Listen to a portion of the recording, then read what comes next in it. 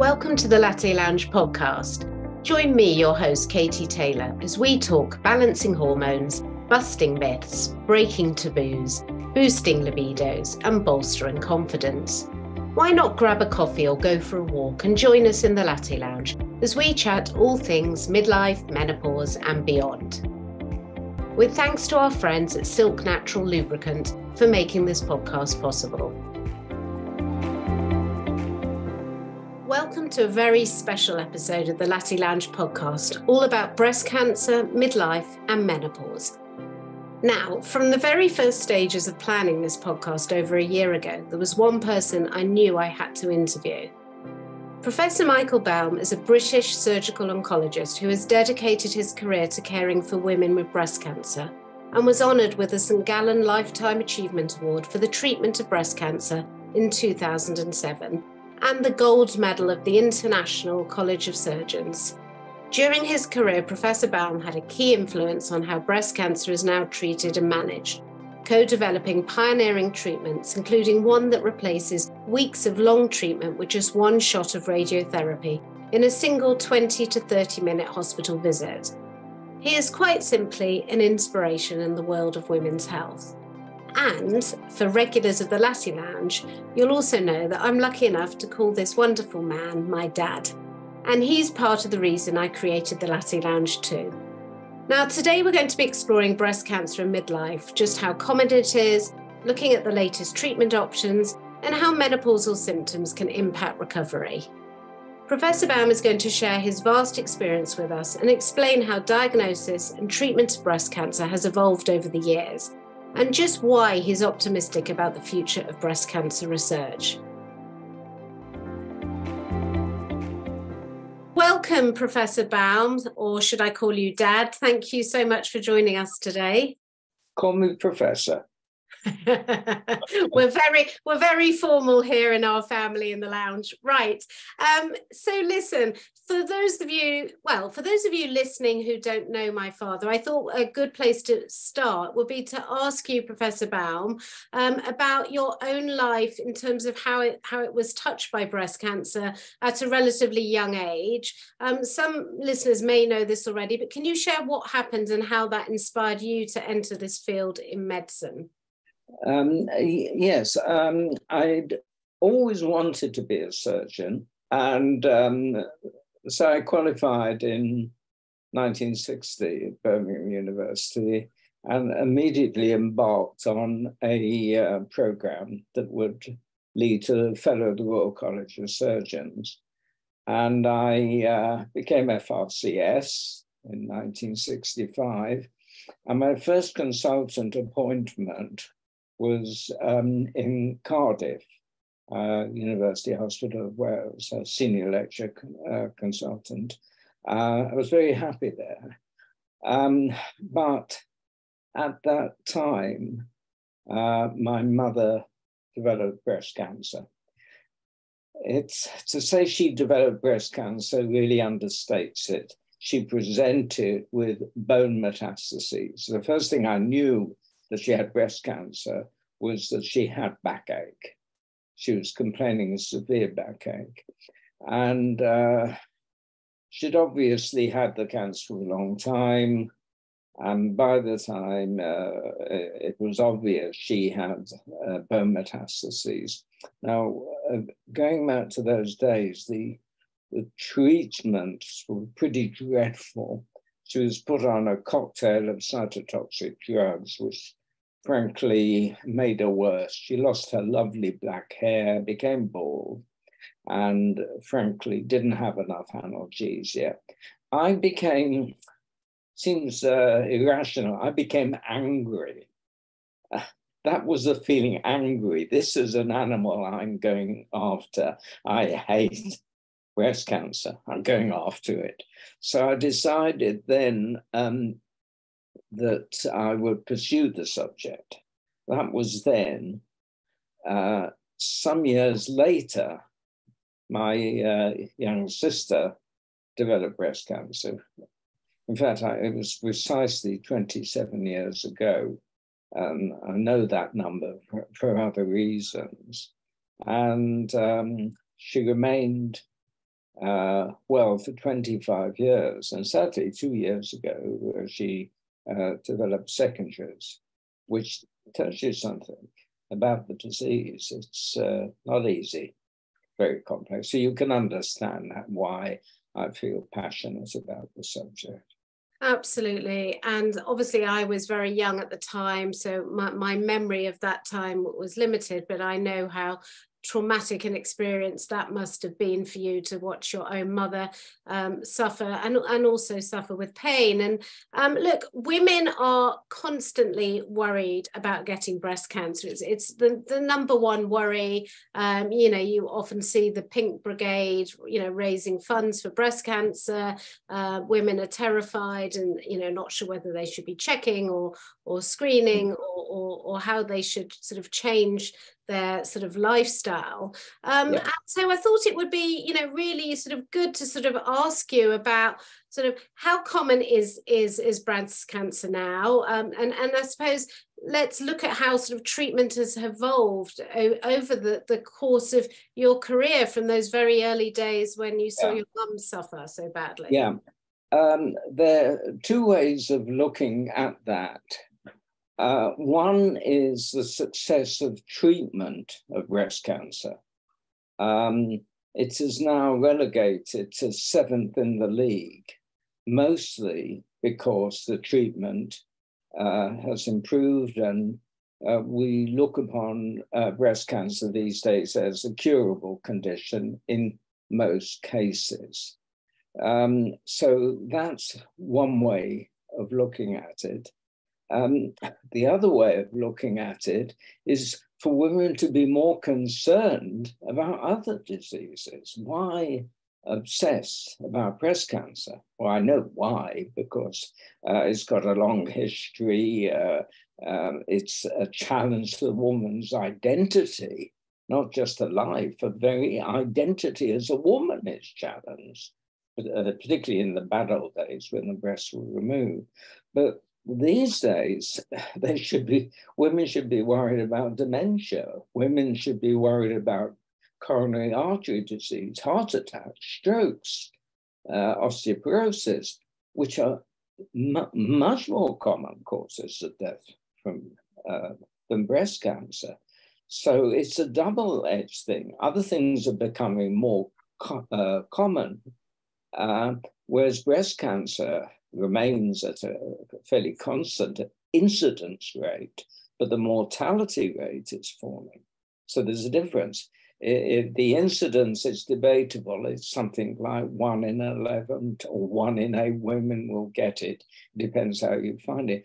But when you look at mortality rates, deaths from, it's just dropped, dropped, dropped. And these other things have become more and more important. Yeah, and and we'll we'll go on to um, incidence in in a minute because I know it's an unhelpful metric. Um, but let let's look at the treatment, how that has sort of evolved. You know, you were involved. Yeah. Um, with breakthrough uh, treatments in the very early days of tamoxifen. Yeah. But uh, let's look at that and, and what sort of treatment options are now available and how that has therefore impacted survival rates. Right. So um, I, when I became a fellow of the Royal College of Surgeons in 1965, one of the questions were, how do you treat breast cancer? And that was an easy question because everyone knew how to treat breast cancer. Radical mastectomy. End of story. Next question, please.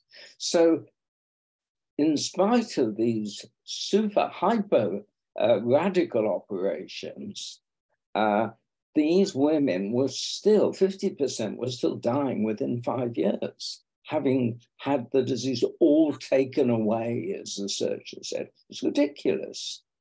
So we went from there uh, um, over, I mean, it was a battlefield. I was part of a member of that battlefield against radical surgery. And we now accept with beyond question that in the vast majority of cases, you can uh, tr- adequately treat the local disease by removing uh, a lump and treating the rest of the breast with radiotherapy. The radiotherapy can be external beam or internal beam. That's another story, intraoperative. But the cosmetic results are really very good.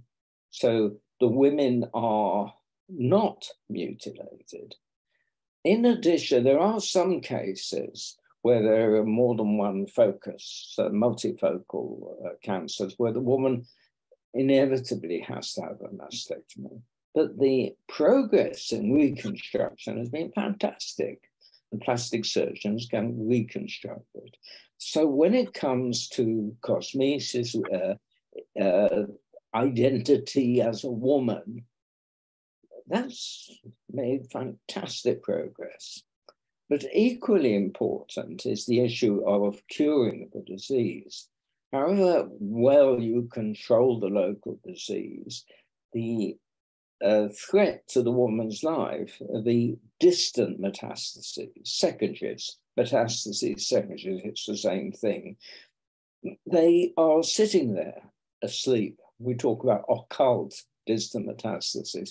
What we mean by that is that they have already disseminated and many of them are just um, sleeping, sleeping uh, threat. Uh, and they can come back uh, later dates. But if we anticipate that and, and treat patients with medication uh, for the whole body, then we can improve the cure rate. Now, uh, the first treatments were chemotherapy, which were pretty toxic. Uh, but then we introduced endocrine therapy, hormone therapy, and probably the most successful drug in the history of the treatment of breast cancer is tamoxifen. And that's used in most women uh, today uh, particularly if the cancer has a receptor for hormones, estrogen receptor. The majority of breast cancers do have estrogen receptors, and the disease can be uh, controlled or cured by giving women the uh, anti-hormone treatment, um, which include tamoxifen. There, there are other hormonal therapies as well. I won't go into too many details. They are generally well tolerated. Um, and uh, we come on to the side effects and uh, HRT, no doubt, in due, due course. Um, there is also chemotherapy uh, for those women who don't have estrogen receptors, which is much kinder than initially, and the side effects of these uh, cytotoxic drugs can be controlled. And then uh, the exciting new developments of endocrine therapy, uh, of uh, immunotherapy, uh, just appearing on the horizon. So the story of the treatment of breast cancer is a success, uh, well, a major success story. So much so the uh, mortality's fallen and women have got other things to worry about, not just breast cancer. Yeah, I mean, it, it must be hard for women who are listening to this, and, and myself included, who have perhaps lost good friends from this disease, you know, in, in, recent years or even a decade ago, or are suffering from it themselves now. It can be a very scary diagnosis to be given. Um, so, what would you say to, to women about it, things like, you know, let's look at things like prevention um, and screening? I know you have very, very strong views, which will surprise a lot of people who haven't come across you yet on screening. But, um, you know, let, us talk about prevention in terms of. Right. The yeah. Um, prevention, um, the, there are many things women can do to reduce the risk. No, no doubt. Another good news story, another good news, many, many things to reduce the risk. Um, exercise, weight loss, healthy diets. Now, it just happens that these things that reduce, these uh, activities that reduce the incidence of breast cancer are good for everything, for reducing the risk of heart disease and hypertension. So um, there are healthy lifestyles. Women should exercise. Women should control their weight. Women should have uh, as many uh, uh, fruit and vegetables as, as they can. They will feel better, they will look better, and they will reduce the risk of uh, uh, breast cancer and other diseases which are more likely to kill them in the, in the long run. So uh, that's simple. and and obviously things like you know obvious things like reducing smoking and and, and alcohol but but what about um, screening and uh, breast check uh, you know breast self-examination yeah. because um, you know sorry, uh, smoking uh, there isn't a strong link with smoking. I mean, smoking is a terrible thing to do. It's got there are many cancers, particularly lung cancer, which is important. Drinking in moderation is okay. Uh, but yes, you're right to remind me that uh, too much alcohol, uh, uh more than a unit a day, uh, can increase the risk. But it also does nice things. He's just trying to get across that he loves a good whiskey every night. But I, I love a whiskey, but I'm not at risk. You're not at risk. But, but let's talk about screening. You know, a lot of women will get to their 50th birthday and they'll get that letter in the post, especially here in the UK. Yeah. Um, let's talk about screening. Why why are you uh, well let you I'll let you speak. let me speak for myself. I I probably know more about mammographic screening than any anyone in the country. That sounds arrogant. The reason is I've lived a long time. I was one of the, uh, I'm 85 years old, and I was one of the architects of the screening program. I opened the first screening unit in 1987, the first screening unit in England, out to England in 1987, 1987, 88. I made a huge investment into screening and I served on the committee for screening for seven years until I realized it did not live up to promise. Um, what we know now, there's a, a lot between then and now, but what we know now, you can summarize it in a simple way. For every thousand women uh, screened by mammography, over 10 years will avoid one breast cancer death. Now, note, I'm not saying it will uh, make them live longer, they will avoid one breast cancer death at the cost of death from something else. So, a thousand women, one breast cancer death avoided, traded by causes of death and other things. And that's mainly because of the overdiagnosis of breast cancer. I'll come back to that at the moment. So I'm, uh, I'm, I think screening for breast cancer has a great future behind it. It was a good idea at the time. It was, uh, it was a, a, a courageous experiment, but when the data changes, you must change your mind. The data now no longer supports mammographic screening. I'm not a heretic. I, I'm, I'm a scientist. I go with the data. But the trouble is, screening has become politicized, and no uh, government would have the courage to say, well, sorry, guys or girls, uh, it doesn't live up to its promise. But those letters are being sent um, every single day to women. Um, they're landing on their doorsteps. They go for your screening. Does that information uh, um, is that information in that leaflet? And and does anyone actually read it? Because I know, you know, myself included, you just get the letter and everyone says, "Oh, have you had your screening?" "Oh no, I must go," um, and you don't read it. So when women go to that appointment, is that explained to them? Well, we, people like me, had a, a battle, lasted 10 years, of uh, giving women information. Um, I remember the reason I resigned from the committee was I was describing the data that failed to support the um, uh, the adventure of mammographic screening. And I was told if women knew that, they wouldn't accept the invitation. And I, I asked them to repeat it because I thought I hadn't heard right that we deny women information that we know because we know better than the women. Well, goodbye. I resigned and I wrote a letter in the Lancet explaining my fury that they were denying knowledge to the woman that we, we the clinicians, the scientists, knew. And one of those, uh, well, there were two obvious problems.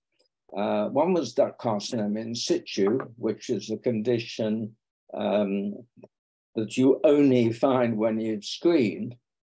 Uh, it's, uh, before screening, we didn't see it. With screening, um, 20% of the quote cancers was something called duct carcinoma in situ, which looked like cancer, but doesn't behave like cancer. And it was assumed, oh, good, it's a pre-cancer. So if we find all these duct carcinoma in situs, then the invasive cancers will go away. It's, it wasn't true. It was just adding and 20% additional burden on women without any benefit. And because it was multifocal disease, many, many, many spots multifocal, there were more mastectomies. So screening increased the incidence of mastectomy. And women deserved to know that. So after about 10 years, it was then introduced into the leaflet. Uh, but as you say, the leaflets aren't read and, hearing that i mean it, it, it's it's it's amazing isn't it? Because you hear oh I, have I've been diagnosed with dcis uh, i've got breast cancer. You immediately then go into panic and anxiety. Um, you behave like a cancer patient. You fear for your life and you probably go through all this unnecessary treatment. And, and when i explain to my friends why when i get my letter uh, I basically sort of throw it in the bin because I know this. They're they're pretty shocked to hear that, and they're like, "Well, well, I'd rather be the one woman that is saved, and you know, I, am I'm, I'm not going to worry about all the other women that, um, you know, maybe overdiagnosed." So uh, they're saying, "Well, what are you going to do?" you know well if you don't have screening how are you going to know you know if you find a, a lump it's too late um, maybe you can sort of address yeah. that. Um, well, I'm often asked this: if we don't have screening, what what should we do? Well, the the rude question is: who says you should do anything? Women are living longer now and living healthier now than ever. Who should we? Why should we be doing any anything?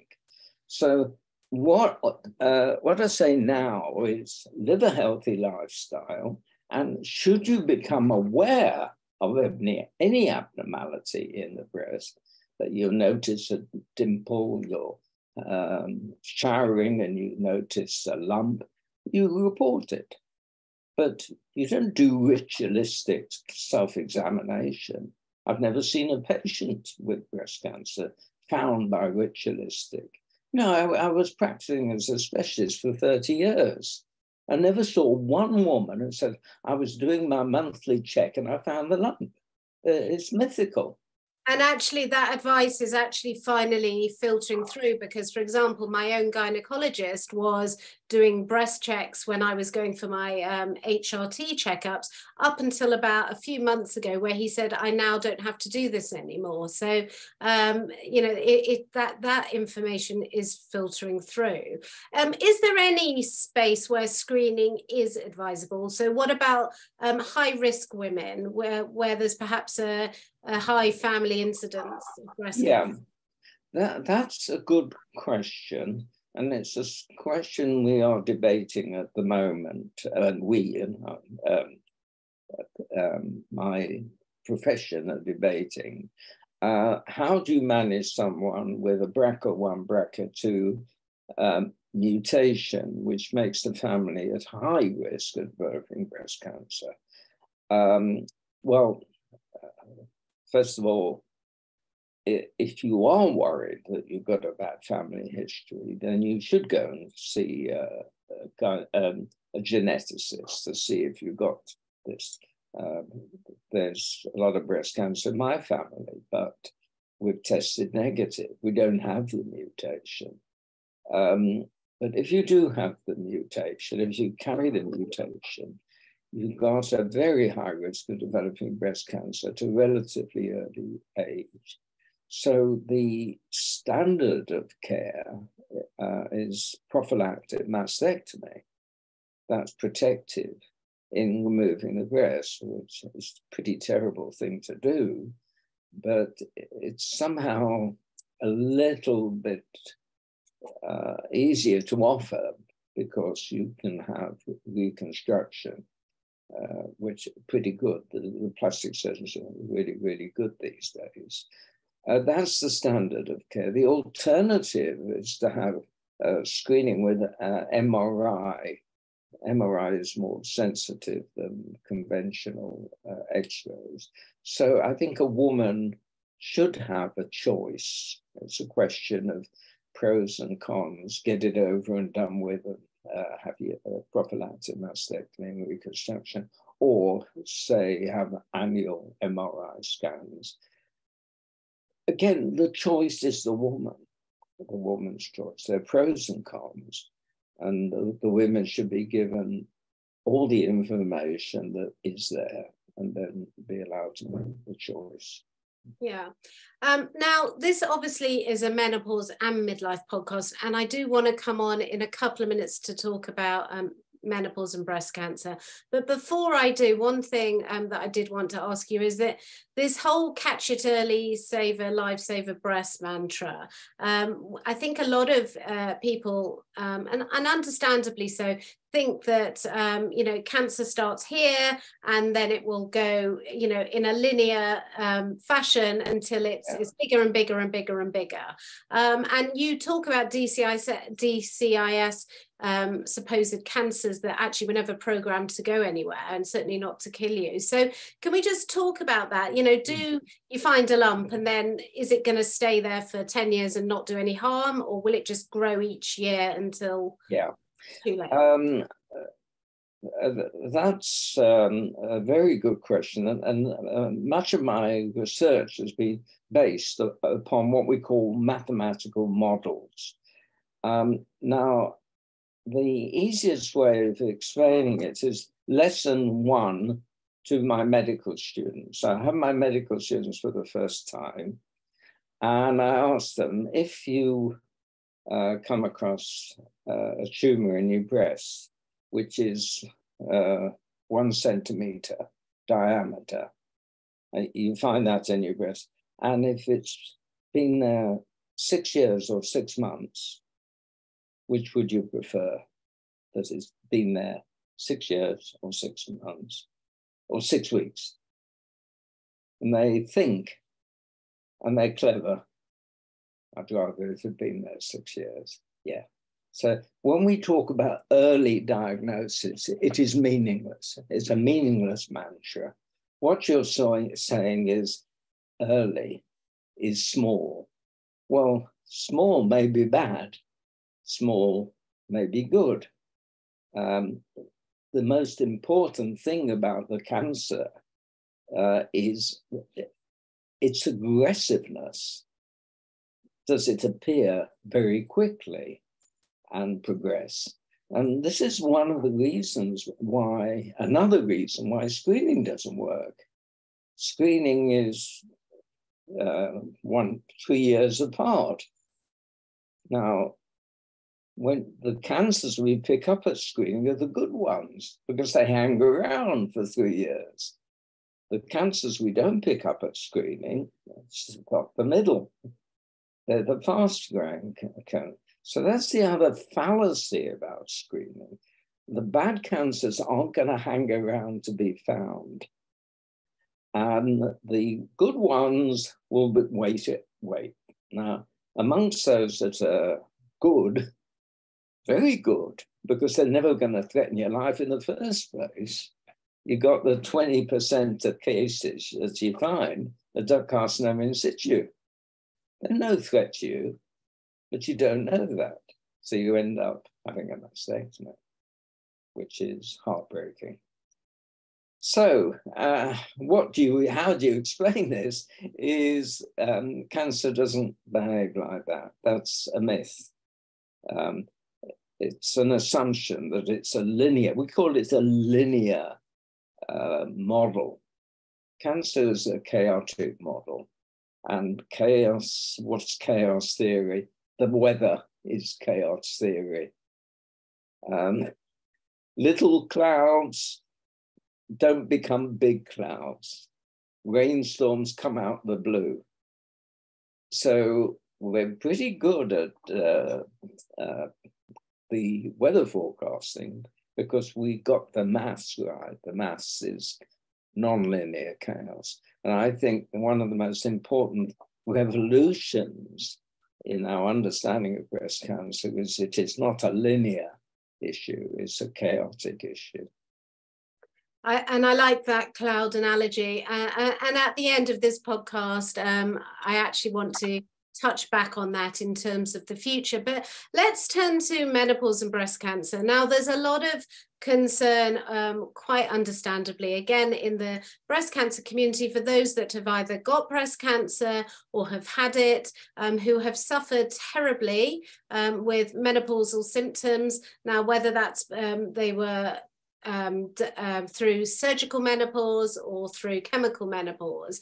And um, they've a lot of women are advised that they can't go on uh, hormone replacement therapy um, because it's going to um, increase their risk of recurrence. Um, or, or for women who haven't had breast cancer, um, they've been told that HRT causes breast cancer. So, you know, we've talked um, on um, some of the earlier episodes of this podcast about this, but for those that perhaps um, didn't hear that, can you explain where this fear has come from, where it stemmed from? It's this cliche uh, estrogens cause breast cancer. Estrogens cause breast cancer. It's been said so often, people believe it. Well, it's not true estrogens do not cause breast cancer. If estrogens cause breast cancer, then you get breast cancer at a young age when the estrogens are up here. You wouldn't get breast cancer in old age where the estrogens are down there. So that's the first thing. The other thing, if you happen to get breast cancer when you're pregnant and your estrogens are up at the ceiling level, those cancers do rather well. They don't do bad. That's second. The next thing, before tamoxifen came along, uh, and we were uh, facing a woman with an advanced breast cancer, we would give them estrogens. It would reduce the size of the tumor.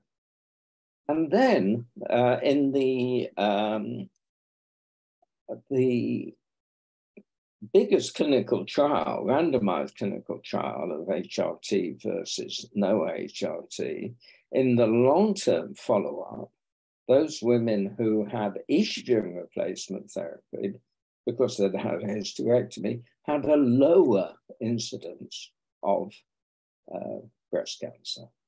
So uh, estrogens can protect you against breast cancer. They don't cause breast cancer. Um, and it's difficult to understand uh, where that came from in the first place. Well, obviously, you, I mean, you know yourself, and uh, we mentioned it at the beginning, so um, I haven't sort of pushed it out there too much with you, but the Women's Health Initiative trial and then the follow up trial, which you were obviously allu- alluding to, um, what, what, caused a huge, well, a massive disservice uh, to women who were terrified. And, and this um, trial, you know, were, was basically alluding to the fact that it did cause breast cancer, and doctors and women were hysterical and immediately came off it. Um, and so we've had 20 years or, or, more where women have suffered unnecessarily. And it's interesting because this follow up trial, you know, there's no big press release out there saying, oh, sorry, we got it wrong. good news isn't published. so the Women's Health Initiative, I think the first publication was 2002. It was so flawed in retrospect, it shouldn't have been published. The long-term follow-up, when the data were mature, published, was it 2015, I think? Yeah, I think yeah, 2015 yeah. reversed the findings and, and said uh, showed that if it's estrogen alone reduces the risk of breast cancer.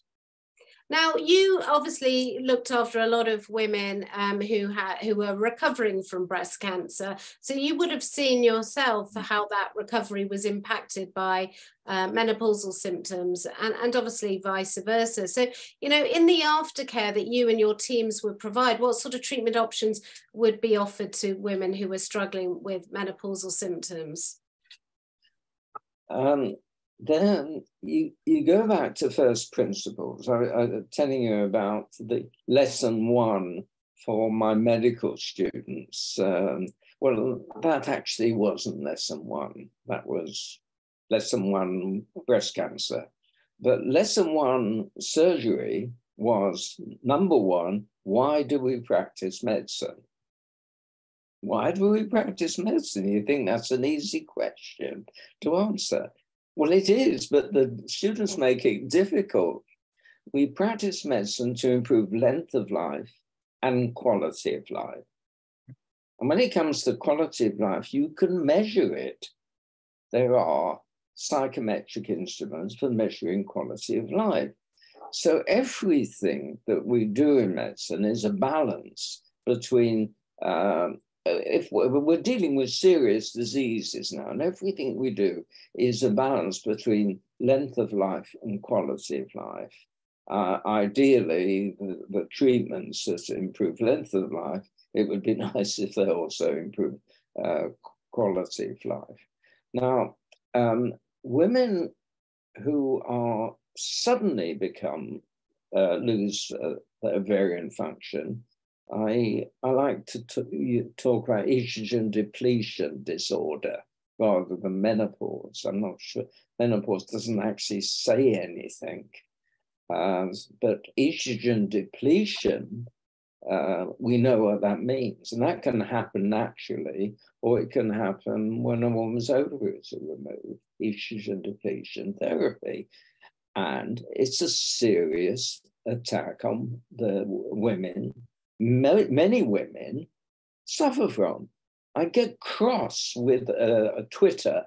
What really uh, pisses me off on Twitter is some self appointed authority. I sail through the menopause. Nothing. You, what's the matter with you? I really get cross. Well, okay, you got lucky. You sailed through it. The majority of women uh, suffer from it. And, it. and it's not just hot flushes, it's depression, it's fogging of the brain. And, uh, and then there's the long term consequences. So I think we should always consider hormone replacement therapy for women who are suffering uh, whatever the reason, you, you've got estrogen depletion problem, you give them hormones. So my default position was always give uh, allow women HRT, unless there's some specific knowledge that that will do her harm. And women are really suffering from HRT. I'm not sure where the data are that it's dangerous.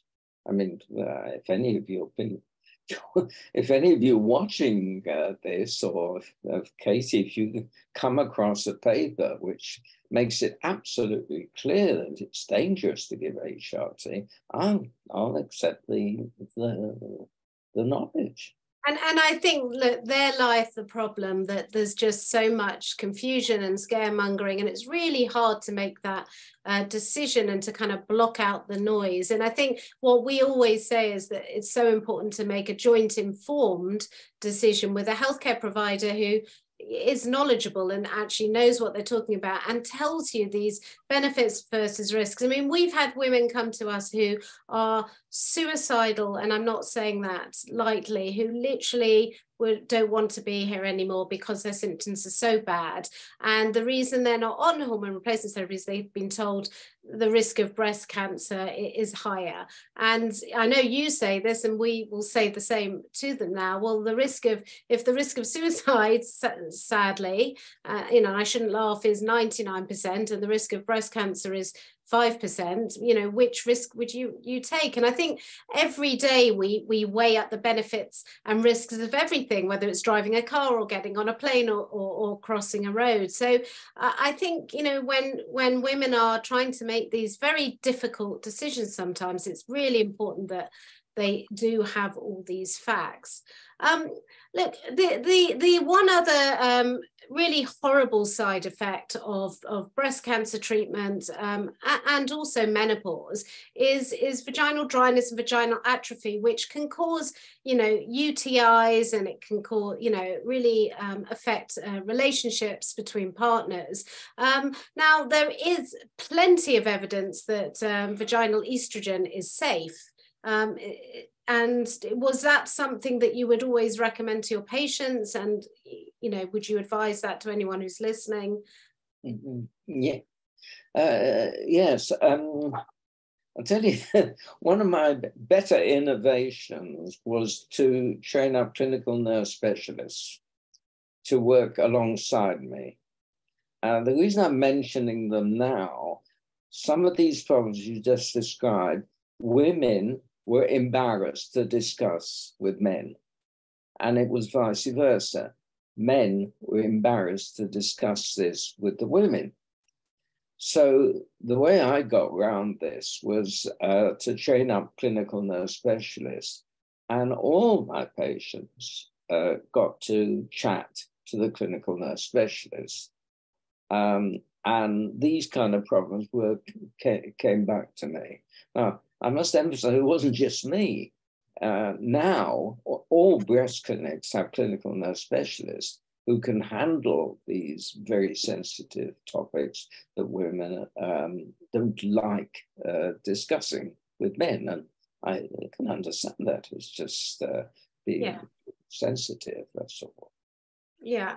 Well, look, we look that we could go into so much detail here, and we, we don't have enough time. But um, let, us look to the future of breast cancer research and treatments. Um, are you? What are you sort of most optimistic about right now in the field of breast cancer research, women's health research, and where do you hope things will go in the next sort of 5, 10, 20 years for for the future of your granddaughter and your daughter?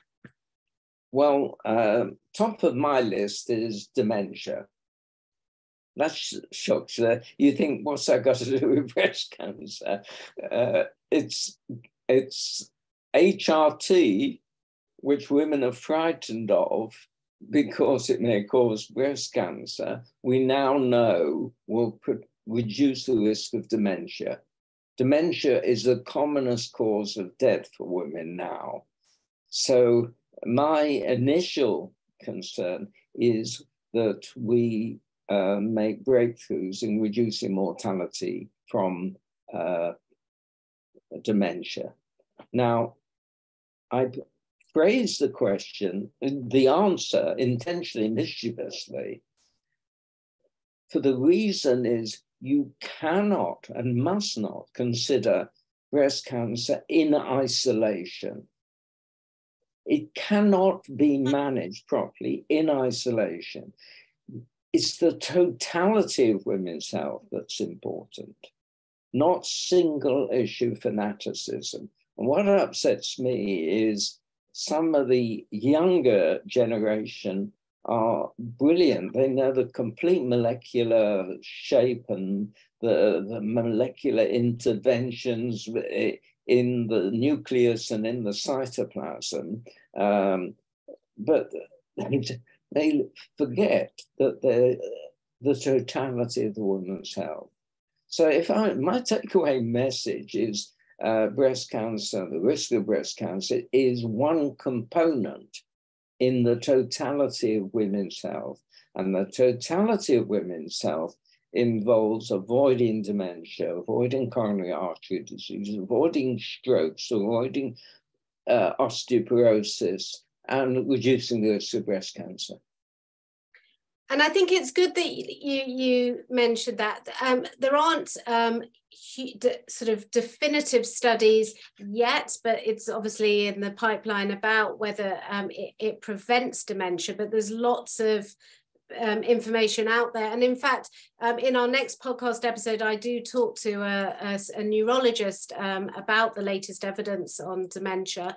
Um, but these are really important conversations to consider that the, you know, hormone replacement therapy, there are masses of benefits from reducing, as you said, cardiovascular disease um, and keeping blood pressure low and reducing the risk of things like strokes um, and, and osteoporosis, which actually is one of the biggest killer of women as well. So look, we, have covered a lot here, but um, on a more personal note, you're 85 now, and um, people will find that pretty astounding that you still have all your marbles. But um, let, very quickly before I let you go, you you've written a book called The History and Mystery of Breast Cancer, which I um, urge uh, people to read. We'll put the details of where they can uh, find it in the show notes because that will go into a lot more detail. Um, and um, if you just Google Professor Michael Baum, you will be able to find um, other um, books and, and articles, published articles that he's written. So, uh, Professor Baum, Dad, thank you so much, um, not just for all this amazing information, but uh, teaching me as well. Hopefully, I can carry on the baton a little bit and make you proud. Um, and for anyone that's listening, if you're concerned about anything we've uh, chatted about or confused, um, please do obviously uh, check with your own healthcare professional for any personalised advice. So thanks everyone for listening and be well. Thanks so much for listening to the Latte Lounge podcast. If you've enjoyed this episode, it would mean a lot if you could subscribe wherever you're listening so you don't miss an episode. And finally, before I go, I just wanted to remind you to check out the episode show notes for all our extra resources. You'll find links in there for our free Facebook group and our free symptom checker, so you can track your own symptoms against a list of the 34 most common symptoms of perimenopause and menopause. See our show notes for more. This podcast was sponsored by Sylk Natural Lubricant and produced by Emily Crosby Media.